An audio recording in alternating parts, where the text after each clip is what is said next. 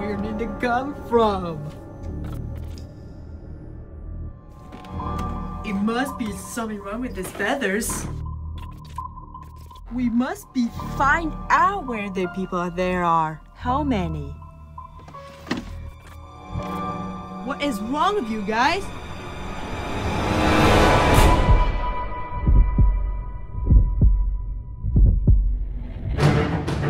Come here, puppy.